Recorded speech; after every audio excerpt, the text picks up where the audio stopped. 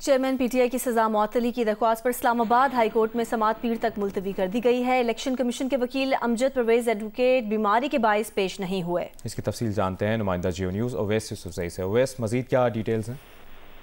जी बिल्कुल देखें इस्लामाबाद हाईकोर्ट के चीफ जस्टिस आमिर फारूक की सरबराही में दो रुकनी डिवीज़न बेंच ने चेयरमैन पीटीआई की सजा मौतली दरखास्त पर। आज जब समात का आगाज़ किया तो इलेक्शन कमीशन के वकील अमजद परवेज एडवोकेट की जानब से इल्तवा की दरखास्त आई और उनके मुआविन वकील ने अदालत को यह आगाह किया।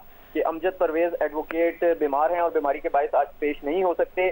उनका ये कहना था कि हमने पिछले आठ माह से मुसलसल ट्रायल कोर्ट में भी कोई इल्तवा नहीं मांगा और यहाँ पे भी दलाइल दिए हैं। लेकिन डॉक्टर ने उस बेड रेस्ट बेड रेस्ट तजवीज किया है, इसलिए वो आज पेश नहीं हुए। चीफ जस्टिस ने इस मौके पर बरहमी का इजहार किया। उनका उनका ये कहना था कि अब ये जो मामला है ये क्रूशल स्टेज पर है सजा मौतली की दरखास्त। पंद्रह बीस मिनट के दलाइल रह गए थे। उसके बाद ये समात मुकम्मल हो जानी थी।